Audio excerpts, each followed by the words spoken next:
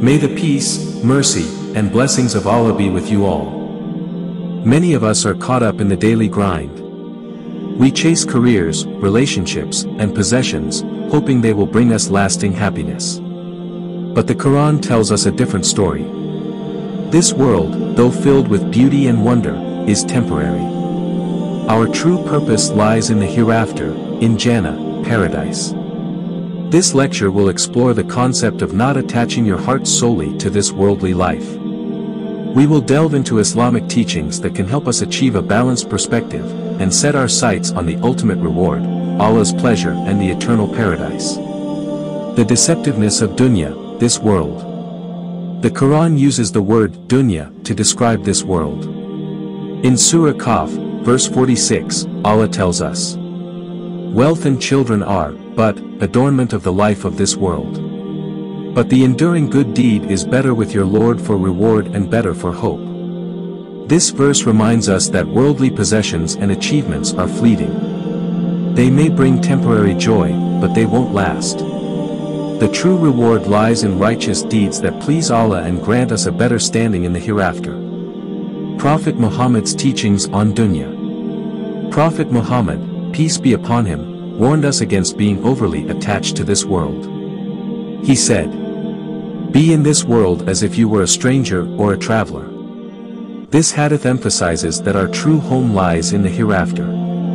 We should live in this world responsibly, but not let it consume our hearts. Stories from the Quran, don't let the glitter fool you.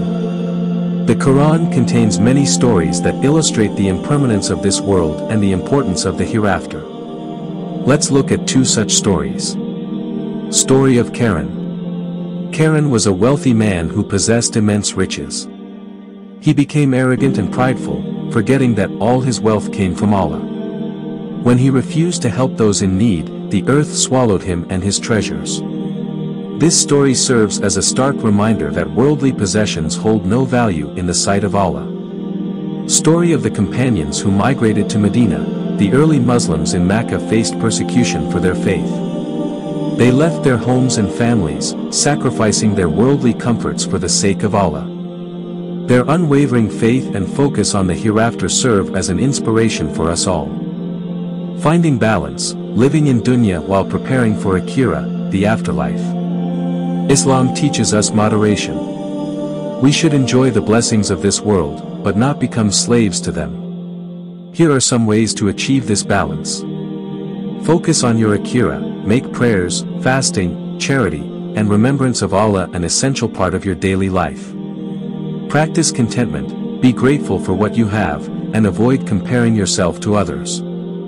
Help those in need, share your blessings with others and strive to leave a positive Conclusion. impact on the world. By detaching our hearts from this world and setting our sights on the hereafter, we find true peace and purpose. This doesn't mean neglecting our worldly duties. We should fulfill our responsibilities, but with the ultimate goal of pleasing Allah and earning a place in Jannah. Remember, the life of this world is a test. Let's strive to pass this test with flying colors by living a righteous and purposeful life, and by keeping our hearts focused on the eternal reward that awaits us in the hereafter. May Allah reward you with goodness, for listening.